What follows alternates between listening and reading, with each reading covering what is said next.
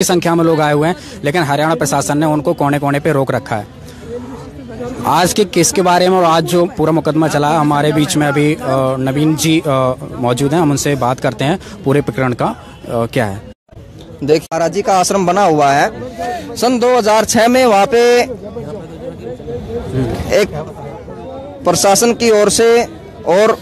हम ये कहना बिल्कुल गलत नहीं होगा कि उस समय के मुख्यमंत्री ने खुद अपनी इच्छा ज़ाहिर करते हुए सतलोक आश्रम को चारों ओर से घेर करके और संत रामपाल जी महाराज जी के ऊपर झूठा मुकदमा बनवाया था और उसी 302 के मुकदमे की सुनवाई आज अश्वनी कुमार गोयल जज एडिशनल जज जो कि हिसार में है सॉरी रोहतक में है, उनके पास थी और उन्होंने पिछली तारीख पे संत रामपाल जी महाराज जी को व्यक्तिगत तौर पर पेश होने के आदेश दिए थे, क्योंकि कई तारीखों से जिस जेल में संत रामपाल जी महाराज जी अभी बंद कर रखे हैं, उस जेल की वीसी में कोई प्रॉब्लम चल रही थी किसी प्रकार से तो उसके तहत अश्विनी कुमार जी ने संत रामपाल जी महाराज जी को व्यक्तिगत तौर पर पेश होने के आदेश दिए थे। लेकिन जैसे ही संत रामपाल जी महाराज जी के समर्थकों को उनको पता लगा के भाई संत रामपाल जी महाराज जी व्यक्तिगत तौर पर कोर्ट में पेश होंगे,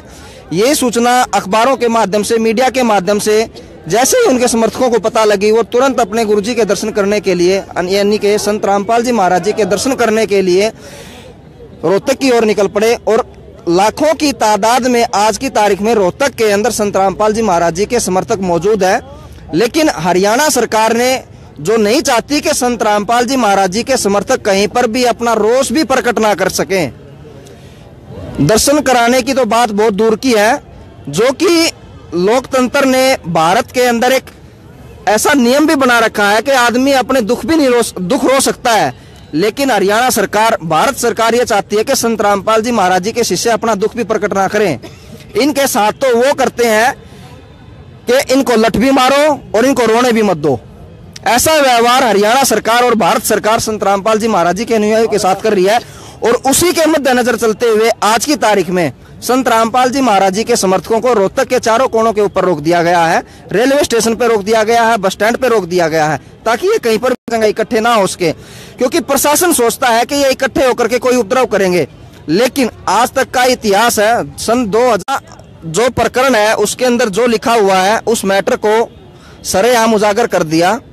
और वो जो मैटर है, सीधे तौर पे ना कह करके इतना ही कहना उचित होगा कि अगर आपने समाज में किसी भी प्रकार का कोई भी बिगाड़ लेकर के आना है या समाज को गलत दिशा देनी है तो सत्यार्थ प्रकाश के चौथे समोल्लास को आप उजागर कर दीजिए। किसी भी प्रकार की कोई भी, ना किसी गलत किताब की ज़रूरत पड़ेगी, ना कोई वीडियो की ज़रूरत पड़ेगी बच्चों को बिगाड़ने के लिए या समाज को गलत दिशा देने के लिए। उस चीज़ का संत रामपाल जी महाराज जी ने विरोध किया और सभी को, जो भी संत आर्य समाज के प्रवर्तक थे उनको आमंत्रित करके ये यहाँ तक बोला कि भाई किसी न किसी प्रकार से इस मैटर को यहाँ से हटा दिया जाए, क्योंकि ये मैटर ना तो धार्मिकता के मामले में ठीक है, ना ही ये सामाजिक तौर पे समाज को एक नई दिशा देने के तरीके से ठीक है। लेकिन जो आर्य समाज के प्रवर्तक थे, उन्होंने अपनी रोजी रोटी बंद होते देख करके संत रामपाल जी महाराज जी के ऊपर झूठे मुकदमे करवा दिए, क्योंकि उस समय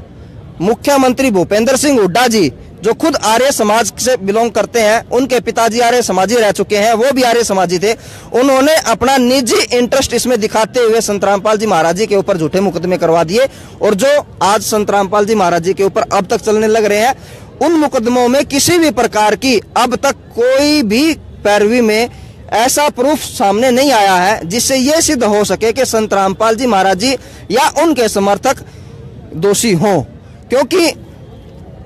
एफएसएल की रिपोर्ट ये कहती है कि जितने भी हथियार आश्रम से मिले हैं, उनसे कोई गोली नहीं चली। और अगर उन आश्रम से मिले हथियारों से गोली ही नहीं चली तो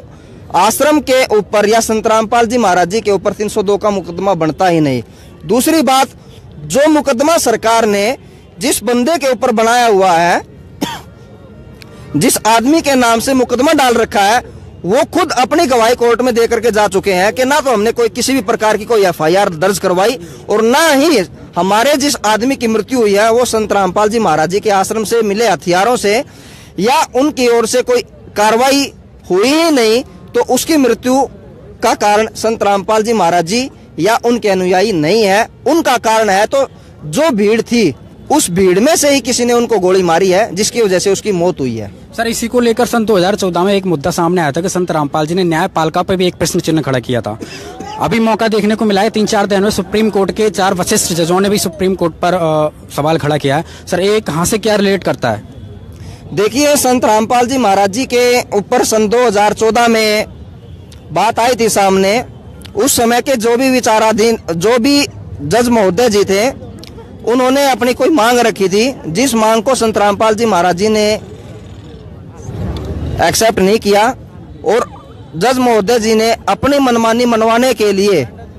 और ऊपर से हाई कोर्ट से प्रेशराइज करवा करके संत रामपाल जी महाराज जी के ऊपर देशद्रोह तक के मुकदमे बनवा दिए। सर, आज जो सुप्रीम कोर्ट ने भी जो न्यायपालिका में जो प्रश्न चिन्ह खड़ा किया है, आज संत रामपाल जी जैसे पहले भी कई बार चुके हैं कि न्यायपालिका पूरी तरह से खंडर हो रही है, न्यायपालिका का सुधार होना चाहिए। संत रामपाल जी ने सुझाव भी दिए थे। क्या सुझाव थे? देखिए, संत रामपाल जी महाराज जी ने समय समय पर भी और अब तक संघर्ष करते आ रहे हैं, सुझाव भी देते आ रहे हैं कि जो भी कानून है जजों के ऊपर कोई भी कानून नहीं बनाया गया, क्यों नहीं बनाया गया? संविधान अलग चीज़ है, जज अलग चीज़ है, कानून अपना कानून को मनवाने के लिए अपना मनमाना आचरण नहीं चलाया जाता। और जो कुछ जज ऐसे हैं, सभी जज इस कैटेगरी में नहीं आते, लेकिन कुछ एक जज ऐसे हैं जो अपनी मनमानी करने के लिए निर्दोष मुकदमे तक अपने प्रेशर दे करके बनवा देते हैं। लेकिन अभी जैसा कि देखने में आ रहा है, सुप्रीम कोर्ट के चार जज जो खुद इस चीज़ को मानने लग रहे हैं कि हाँ न्यायपालिका भ्रष्ट हो चुकी है तो आज हम उनके साथ हैं और उनका हम समर्थन भी करते हैं। और हमारी भी यही मांग है कि जो मांग आज से 12 साल पहले संत रामपाल जी महाराज जी ने उठाई थी, आज वही मांग सुप्रीम कोर्ट के जज उठाने लग रहे हैं। तो इससे यह सिद्ध होता है कि जब वो सुप्रीम कोर्ट के सीनियर जज इस चीज़ की मांग उठा रहे हैं तो संत रामपाल जी महाराज जी आज की तारीख में वो कह रहे हैं कि भाई वे ठीक थे। संत रामपाल जी महाराज जी बारह साल पहले भी ठीक थे, आज भी ठीक है और आगे भी ठीक होंगे। क्योंकि संत रामपाल जी का उद्देश्य है समाज को नई दिशा देना, भ्रष्टाचार मुक्त बनाना देश को और इस देश में भक्ति की क्रांति लेकर के आने से है। समाज में बिगाड़ करने का उनका उद्देश्य नहीं है और उनका उद्देश्य है एक कानून हो, एक झंडा हो और उस कानून को सभी मानने वाले हों। और उसी कानून को लागू करने के लिए आखिरी सांस तक संत रामपाल जी महाराज जी ने बोला, आखिरी सांस तक संघर्ष करेंगे और जितने भी उनके समर्थक हैं, लाखों की तादाद में अब आज की तारीख में उनके समर्थक है, वो भी आखिरी सांस तक उनका समर्थन करते रहेंगे और उनका सहयोग है। संत रामपाल जी महाराज जी के समर्थक अपने गुरु जी के वसनों के ऊपर जान देने को तैयार है। जगह जगह पर मुकदमे बना करके जेलों में डाला जाता है। लेकिन संत रामपाल जी महाराज जी के शिष्यों की हमारी मांग ये है, मुख्यमंत्री हरियाणा जी मनोहर लाल जी और प्रधानमंत्री जी से हमारा ये निवेदन है कि आप लोग प्रशासन को परेशान मत करो। अगर आपने जेलें भरनी है तो आप अपनी जेड़ों के दरवाजे खोल दीजिए। जितने आप कहोगे, संत रामपाल जी के अनुयायी अपने आप जेल में आकर के बैठ जाएँगे। आपको परेशान होने की ज़रूरत नहीं है किसी भी प्रकार से। आप जेलों के दरवाजे खोलो, आप दसों को बुलाओगे तो दस हज़ार आएँगे आपके पास। और जितने मर्ज़ी आपने फांसी तोड़ने आप फांसी तोड़िए। लेकिन ये आंदोलन जो संत रामपाल जी महाराज जी ने चलाया है, ये जारी है, जारी रहेगा, ना इसको कोई रोक पाया है और ना इसको कोई रोक पाएगा।